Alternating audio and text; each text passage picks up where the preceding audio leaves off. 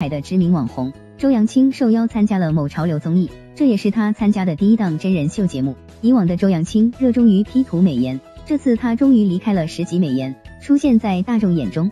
在已播出的节目里，周扬青自然不做作，大方不拘谨的姿态吸粉无数。不仅如此，她在节目中展现出的专业素养也很棒，从确定主题到选品上新，都表现出非常独到的眼光。店铺试营业的反响也非常好。在网上更是引起一波潮流热议。再接着就是周扬青一大早素颜出镜为大家做早餐，虽然看着动作娴熟，出锅的菜却是一般般，只能说是尽力了。不过做饭时镜头里的周扬青也着实让观众吃惊了一把。这镜头的角度比较对脸，可以看出她确实是没有化妆，但是皮肤相当的嫩，可以说平时保养非常到位了。没想到平日里依赖十级美颜的网红，在离开美颜特效之后，颜值依然不输。周扬青的脸蛋白皙滑嫩无瑕疵，就算旁边是小十来岁的范丞丞，也看不出年龄差。带妆的周扬青时尚且成熟，非常有气场。素颜穿睡衣的周扬青仿佛变了一个人，更像邻家小妹，给人一种甜美清纯的感觉。